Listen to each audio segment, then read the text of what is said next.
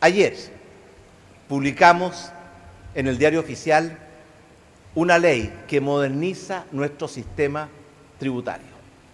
Y esto es una noticia importante y que afecta la calidad de vida de todos los chilenos.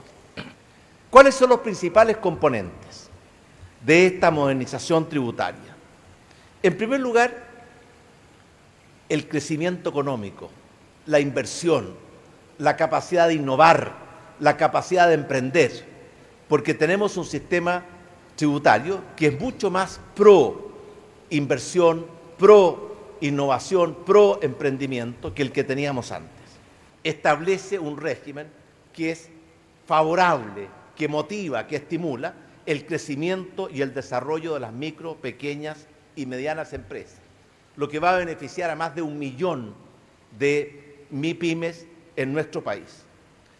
Por de pronto, para casi todas las empresas de Chile, la inmensa mayoría, más del 98%, el sistema es plenamente integrado. Y en consecuencia tenemos un sistema simple, integrado, que va a permitir favorecer la inversión y en consecuencia el crecimiento y el desarrollo de las empresas chilenas. El impuesto de primera categoría para este grupo de empresas es de un 25%, lo cual significa una reducción respecto a lo que tenemos hoy día. Y una cosa muy importante, se va a aplicar en forma automática, porque antes teníamos un sistema favorable a las micro, pequeñas y medianas empresas, pero requería una tramitación, una acción.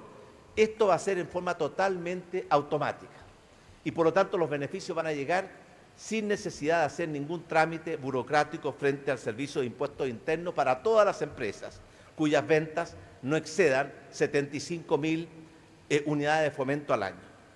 Pero además, hay otro régimen semi-integrado para las empresas de mayor tamaño, con una tasa de impuesto del 27%.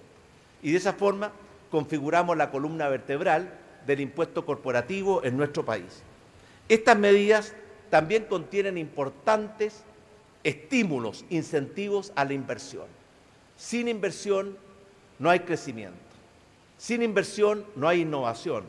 Sin inversión no hay progreso tecnológico. Está absolutamente demostrado que es, la inversión y el crecimiento lo que permite incorporarnos en plenitud a esta sociedad del conocimiento y la información. Y establece una depreciación instantánea, lo cual favorece la inversión, o acelerada en un 50%, de forma tal de motivar a los empresarios de nuestro país a invertir, porque la inversión es un elemento fundamental y sin duda en los tiempos de incertidumbre que hemos vivido y en los tiempos de incertidumbre que probablemente vamos a vivir, es muy importante darle incentivos a la inversión y darles certezas a los contribuyentes.